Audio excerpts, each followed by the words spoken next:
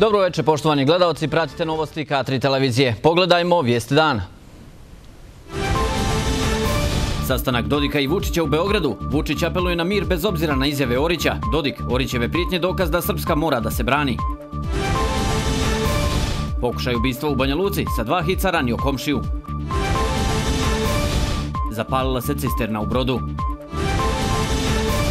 Čobrilović, na izborima velika očekivanja od mladih i aktiva žena DNS-a.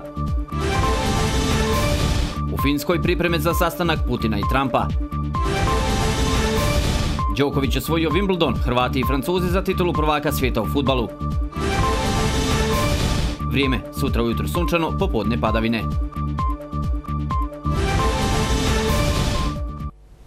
Predsjednik Srbije Aleksandar Vučić i predsjednik Republike Srpske Milorad Dodik sastali su se danas u Beogradu. Vučić je izrazio nadu da ćemo i pored izjava pojedinih nekadašnjih bošnjačkih ratnih vođa uspjeti da sačuvamo mir, stabilnost i da će svim građanima, bez obzira na nacionalnu pripadnost, budućnost biti mir, a ne sukobi i ratovi. Predsjednik Dodik je izjavio da Orićeve prijetnje samo ojačavaju uvjerenje da Srpska mora da se brani svim sredstvima. Aleksandar Vučić je nakon razgovora sa predsjednikom Republike Srpske Miloradom Dodikom rekao da mu je sagovornik prenio zabrinutost. Naveo je da je sa Dodikom sa kojim je imao sadržajne razgovore o svim oblicima saradnje Srbije i Republike Srpske razgovarao prije svega o infrastrukturnim pitanjima povezivanja Srbije i Srpske te Srbije i Bosne i Hercegovine. Ja sam upoznao predsjednika Dodika da mi završavamo naše planove za izgradnju autoputa, povezivanje autoputa Beograd-Zagreb, odnosno iza Sremske Mitrovice skretanje preko Kuzmina do mosta na Rači, ali sad smo rekli da zajedničke stručne službe pogledaju gde će biti najbolje da se uradi most, jer Srbija ima dovoljno novca da iz budžeta finansira taj put od 16 km do samog mosta, znači samo moramo da vidimo gde je najbolje mesto za izgradnju tog mosta. Smatramo da će to koštati oko 100 miliona evra, mi to u nivou dve godine bez problema pokrivamo iz sobstvenog budžeta. Mnogo je projekata urađeno i radi se. Želim da, da napomenem ponovo da je e, pomoć financijska Srbije, Republike Srpskoj u proteklom vremenu omogućila da gotovo u većini, gotovo svim opštinama imamo neku aktivnost, a i opštinama u e, srpskim opštinama u federaciji. Pomogli smo Srpsku pravoslavnu crku tim novcem, novcem koje je dobijeno Srbije e, na prostoru federacije. Radimo mnoge vrtiće, rješavamo mnoge komunalne infrastrukturne probleme. Dva predsjednika su razgovarala i o zajedničkom obilježavanju istorijskih događaja, stote godišnjice pobjede u Prvom svjetskom ratu i godišnjice Oluje, koja će se ove godine obilježiti 4. augusta u Bačkoj Palanci. Komentarišući izjave Nasera Orića, koji je stiho večera ćemo se još iskoristio za najavu novih ratova, predsjednici kažu. Želim da vam poručim da Srpska neprikosnoveno može da brani se, a pogotovo takvih oloči kakav je Naser Orić, i da njegovo, e, njegove izjave toga jeste uznemiravajući za, za naš narod, ali isto tako a, nas okuplja u uvjerenju da moramo da održimo našu, našu kolektivitet i da institucije Republike Srpske se spremaju a, i spremne su da daju odgovor na sva ta pitanja. Niti mogu, niti želim da bilo kome pretim i možda neko pogrešno razumeo stihove Matije Bećkovića možda i neko želi to i ja sam više puta govorio da postoji ta vrsta potrebe kod pojedinih ljudi u regionu za osvetom, ali kako to oni doživljavaju, jer svoje žrtve uvek dobro vide, a tuđe žrtve iz prethodnog perioda svi mnogo manje vide. Za nas je važno i ja ostajem pri onome što sam rekao da ćemo mi čuvati mir gotovo po svaku cenu, ali da nikada nikome nećemo dozvoliti novi pogrom srpskog stanovništva. I kada sam to rekao, znam koliko sam ozbiljne reči izgovorio i svi znate da ću se držati toga što sam rekao. Na sastanku je bilo riječi i o nastavku obrazovne, kulturne i svake druge saradnje, a sagovornici su pohvalili to što će nastavni program za džake u osnovnim školama u Srbiji i Srpskoj biti sličan, jer je, kažu, važno da djeca znaju i nacionalnu istoriju i nacionalnu geografiju i kako i na koji način srpski narod tretira pojedine istorijske događaje. Banja Lučka policija uhapsila je sinoć Novicu Šešuma koji je u Kuljanima kod Banja Luke u dvorištu porodične kuće pokušao ubiti komšiju Sašu Matoša, saznaje Srpska info. Prema saznanjima novinara pokušaj ubistva se desi u subotu oko 19.20 časova kada su se njih dvojica posvađali pa je potom Šešum iz pištolja ispalio dva hica u komšiju. Uviđaj je obavio dežurni tužilac okružnog tužilaštva Banja Luka, saopšteno iz policijske uprave Banja Luka. Matoš je zadobio prostrelnu ranu grudnog grudnog koša i povrede abdominalnih organa. Priključen je na aparate za mehaničku ventilaciju i trenutno je stabilnih vitalnih parametara, saopšteno je iz Univerzitetskog kliničkog centra Republike Srpske. Iz ove zdravstvene ustanove navode da je ovaj pacijent sinoć u 19.45 časova dovezen sanitetskim vozilom Doma zdravlja Banja Luka u hitnu prijemnu hiruršku ambulantu UKC-a, te da je hospitalizovan u klinici za anesteziju i intenzivno liječenje. Sve dalje prognoze u vezi sa njegovim zdravstvenim stanjem su preuranjene, navode iz UKC-a. Vozač cisterne, čiji su inicijali PM 40 godina iz Tešnja, povrijeđen je kada se vozilo zapalilo u brodskom naselju Novo selo na magistralnom putu Derventa Brod, potvrđeno je Srni iz Dobojske policijske uprave. Iz policije navode da su prijavu primili sinoć oko 21.35 časova, a da su požar u kojem je teretno vozilo MAN potpuno izgorjelo, lokalizovali pripadnici teritorijalne vatrogasne jedinice Brod. Povrijeđeni vozač je nakon ukazane ljekarske pomoći u Domu zdravlja Brod prevezen u Dobojsku bolnicu gdje je zadržan na liječenju. Uzrok požara biće poznat nakon uviđaja, a ovom događaju obaviješten je dežurni tužilac okružnog javnog tužilaštva iz Doboja. Službenici Uprave za indirektno oporezivanje BiH na području regionalnog centra Tuzla u više odvojenih akcija oduzeli su raznu robu u vrijednosti od 303.000 konvertibilnih maraka. U više odvojenih akcija oduzeto je 6.750 paklica raznih cigareta koje nisu bile obilježene akciznim markicama Bosne i Hercegovine, 4.526 komada tekstilnih proizvoda porijeklom iz Njemačke, te 600 grama zlata i 4,7 kg srebra. Iz Uprave za indirektno oporezivanje BiH je saopšteno da su službenici za spričavanja krijumčarenja i prekršaja iz regionalnog centra Tuzla prilikom operativnog rada na putnoj komunikaciji Tuzla-Sarajevo oduzeli 6750 paklica raznih cigareta koje nisu bile obilježene akciznim markicama BiH. Aktivnosti na terenu, kako se navodi u saopštenju, provedene su u saradnji sa kolegama MUPA Tuzlanskog kantona, policijska uprava Živinice. Iz Banja Lučke policijske uprave saopšteno je da je u prethodnom periodu primjećena pojava prijavljivanja krivičnih dijela prevara putem društvenih mreža. Građani su dovođeni u zabludu i prevareni tako što su putem društvenih mreža stupali u kontakt sa licima koja su napravila lažni profil sa fotografijama veće svote novca i etiketa sportskih kladionica i koja su obećavala dojavu o ishodu sportskog meča uz pozivanje da se obrate zainteresovani koji žele na brzinu da zarade velike svote novca. Nakon što bi im se zainteresovani javili, osumnjičeni su, kako navode iz Banja Lučke policijske uprave, obećavali da će im dostaviti konačan rezultat rezultat o ishodu utakmice uz prethodnu uplatu dijela novca.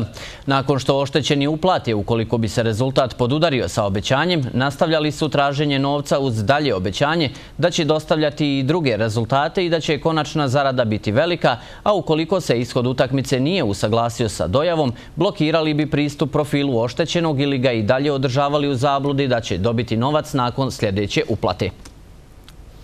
Edib Muminović jedan je od obespravljenih radnika koji je dugogodišnji sudski proces okončao u svoju korist.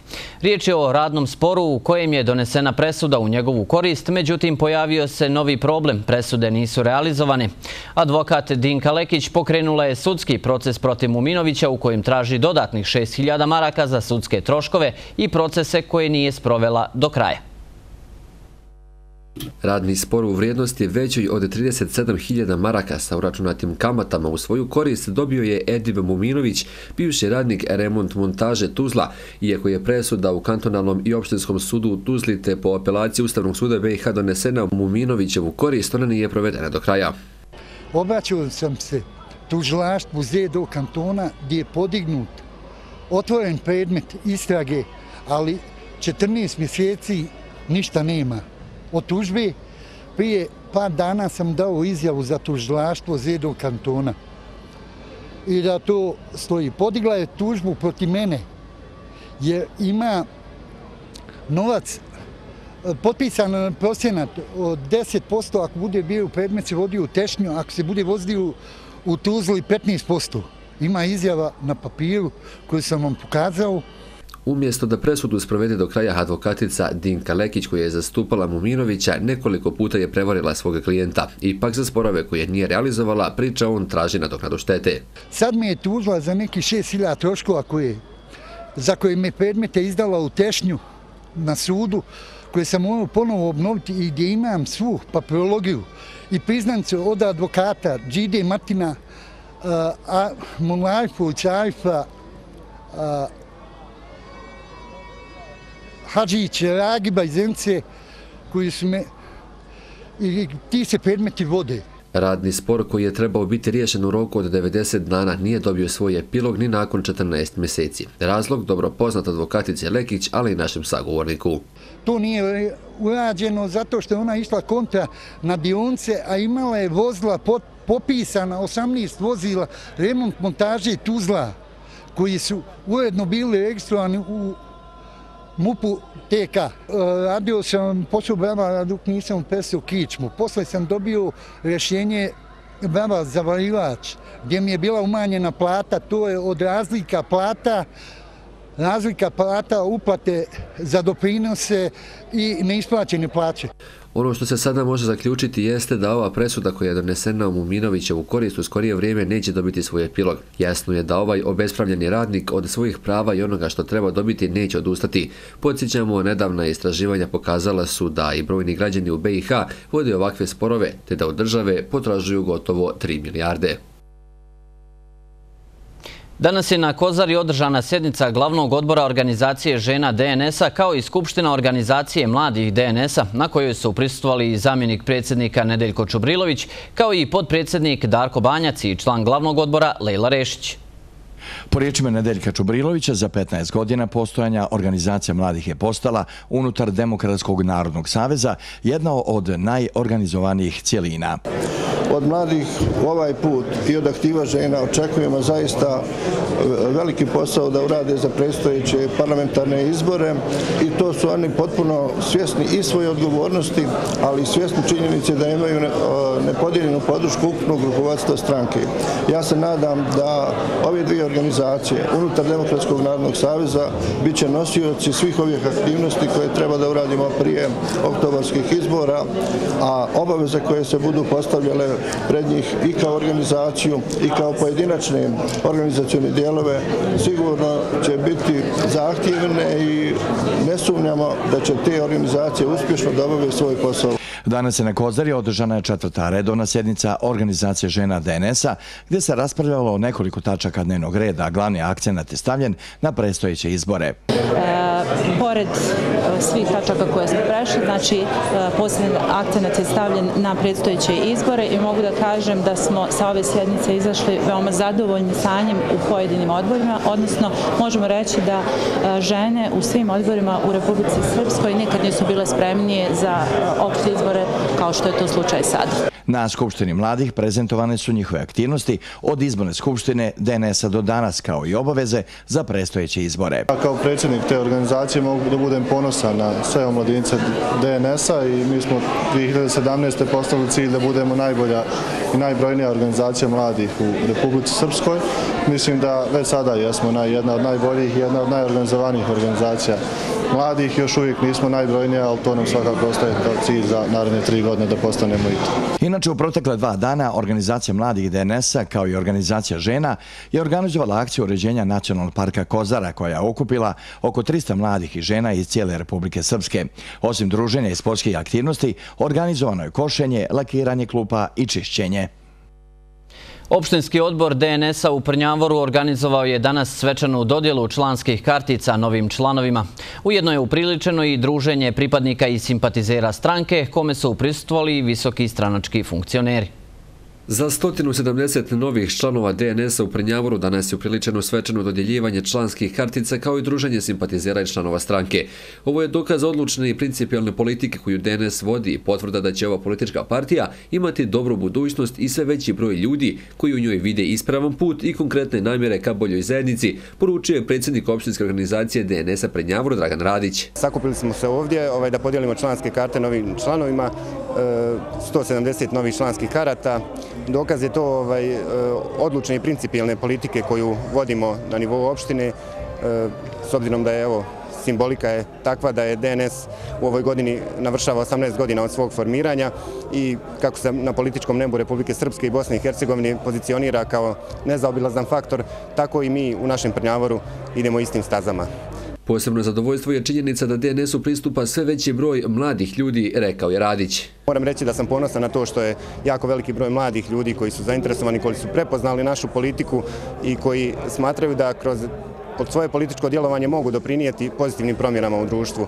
Ove, tako da, evo, to je nešto što, što je možda naj, najljepši dio ovog svega danas. Svečanom skupu je prisusto i podpredsjednik DNS-a i ministar u vlade Republike Srpske Dane Malešević. Ovo je dokaz da DNS svakim danom ima sve veći broj članova, što garantuje da ćemo na prestojećim izborima ostvariti plan koji smo zacrtali, a to je oko stotinu hiljada glasova i 12 do 15 poslanika, poručuje Malešević. To onda garantuje i naše veće učešće u vlasti i e, veći uticaj na donošenje bitnih odluka za Republiku Srpsku, za građane Republike Srpske, veći uticaj na to da odluke koje donesemo doprinesu da mladi koji završavaju i srednje škole i fakultete nalaze zaposlenje u Republici Srpskoj i da ovde ostaju i to onda ima smisla sve ovo što se radi, gradi u Republici Srpskoj ako imamo ovde stanovnike koji će nastaviti da izgrađuju dalje Republiku Srpsku, a znači pokazatelje i ovaj podatak da danas u Prnjavaru učlanjujemo 170 novih članova. Malešević je napomenuo da se na listi DNS-a nalazi tri kandidata za narodne poslanike u Narodnoj skupštini Republike Srpske iz opštinske organizacije u Prnjavoru, te da na predstojećim izborima očekuje dobre rezultate.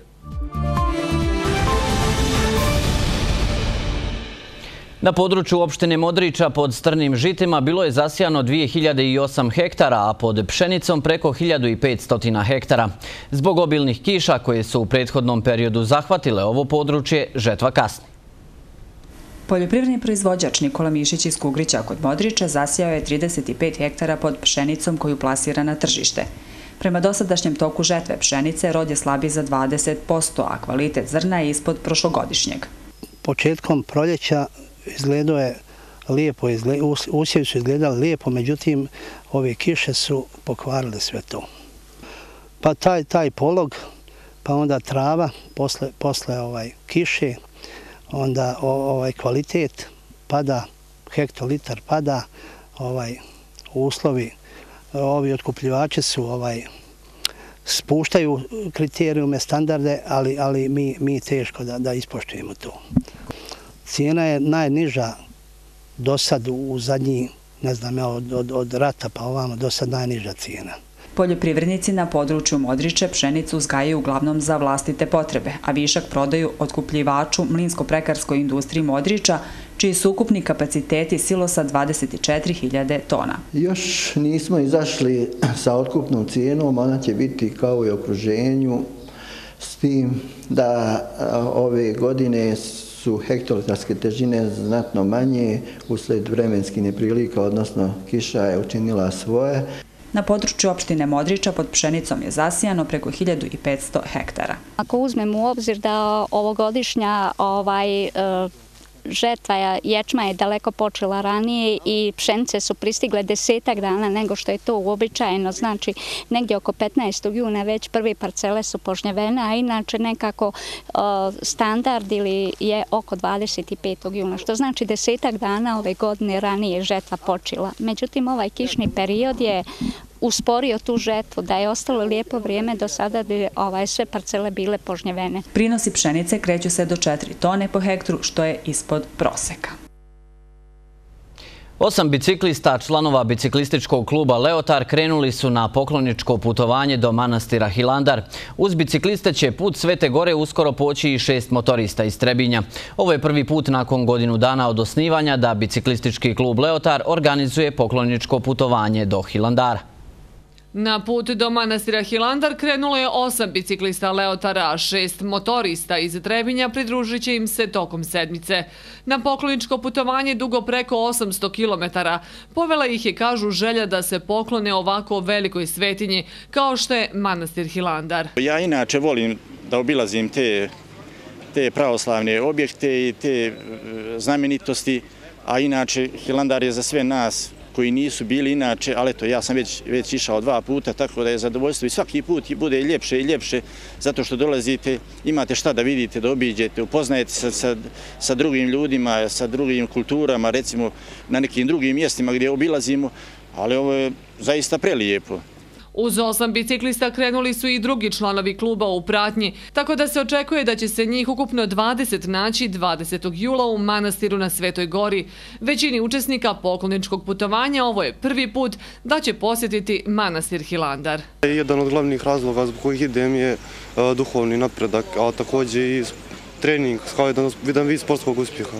Jer to je dug spuk 950 km i svakom naravno će biti draga da, da izdržim tu, tu stazu. Mislim da to neće biti problem. Ne znam kako će biti 5-6 dan, ali mislim da se ne, nose, e, e, ne nosi se oprema, ne nosi se, ne bi trebalo da bude problem. E, to sam već iskusio. Išli smo 10 dana, nosili smo opremu po 30 kila na biciklu, išli smo je neki 100-120 km, svaki dan nije bilo problem. Iz biciklističkog kluba Leotar kažu spremni su za ovako zahtjevnu vožnju, s obzirom da će šest dana voziti po 150 km dnevno, naglasivši također da su obezbijedili adekvatnu pratnju, a ukoliko sve bude po planu, Trebinci bi se 22. jula trebali vratiti. Organizatori pokloničkog putovanja zahvalili su se na pomoći gradu Trebinju i brojnim javnim i privatnim kompanijama. A povodom obilježavanja druge godišnjice pokušaja državnog udara u Republici Turskoj, ambasada te zemlje u Bosni i Hercegovini organizovala je danas simboličnu sportsku manifestaciju Trka za demokratiju. U trci je učestvovalo oko 400 osoba, a turski ambasador u Bosni i Hercegovini je istakao kako je poruka ovog događaja vezana za vrijednosti mira, demokratije, solidarnosti i humanosti. Start je bio u blizini ambasade na Vilesonovom šetalištu, a turski ambasador u BiH Haldun Koč najavio je da će ta manifestacija postati tradicionalna. Podsjetio je na pokušaj puča u Turskoj prije dvije godine i naglasio da je tada pobjedila demokratija. Nadjačala je svijest turskog naroda o miru i najvišim ljudskim vrijednostima. Izdajnički pokušaj državnog udara nije uspio zahvaljujući hiljadama milionima građana Turske koji su na poziv našeg predsjednika Erdoana izašli na ulice i svojim tijelima, dušama, krvlju i životima pokazali jaku političku volju i zaštitili demokratiju. Uspjeli su osujetiti feto u ovom pokušaju. Mi se danas ovdje, zajedno sa građanima Bosne i Hercegovine, prisjećamo tog dana, prisjećamo se žrtava, prisjećamo se ove pobjede demokratije, zajedništva i solidarnosti.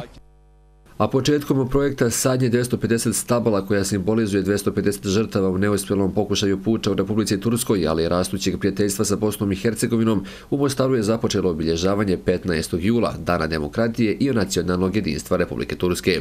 Feto postoji u 160 zemalja svijeta, među kojima je i Bosna i Hercegovina, a mi smo odlučni da sa svojim prijateljskim zemljama nastavimo borbu protiv ove organizacije i smatramo da je pokušaj državnog udara lekcija koja treba da služi kao primjer svim drugim drugim državama koje pokazuju koliko je ta organizacija opasna i kakve ambicije ima.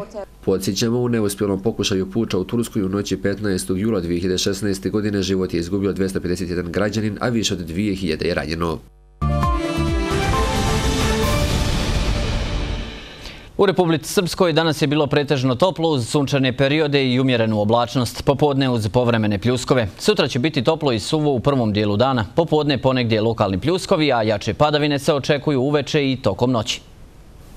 U Republici Srpskoj sutra ujutro pretežno vedro, oko rijeka i po kotlinama ponegdje prolazna magla. Tokom dana pretežno sunčano i toplo vrijeme uz dnevni razvoj oblaka. Sredinom dana na zapadu i jugoistoku jači razvoj oblaka uz povremene pljuskove sa grmljavinom. Pljuskovi će biti češći u brdsko-planinskim predjelima. Uveče jača oblačnost sa kišom zahvata zapadne predjele. Tokom noći jače padavine se šire od zapada preko sjevera ka jugu, a na istoku će kiša početi od narednog jutra. Očekuju se jača i ponegdje obilnije padavine u većini predjela, osim na krajnjem istoku. Vjetar slab zapadni ili promjenjiv.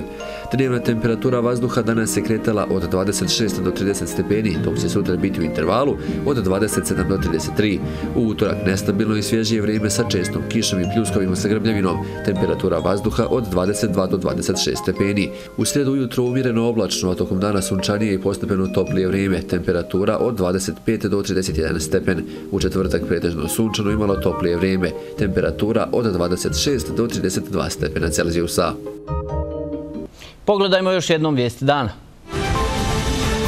Sastanak Dodika i Vučića u Beogradu. Vučić apeluje na mir bez obzira na izjave Orića. Dodik, Orićeve prijetnje dokaz da Srpska mora da se brani. Pokušaj ubistva u Banja Luci sa dva hica ranio komšiju. Zapalila se cisterna u brodu. Čubrilović, na izborima velika očekivanja od mladih i aktiva žena DNS-a. Finskoj pripreme za sastanak Putina i Trumpa. Đoković osvojio Wimbledon, Hrvati i Francuzi za titulu prvaka svijeta u futbalu. Vrijeme, sutra ujutro sunčano, popodne padavine.